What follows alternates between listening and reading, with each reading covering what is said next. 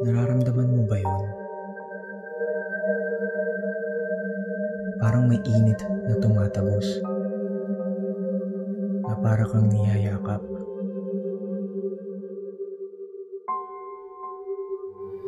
Oras mo na.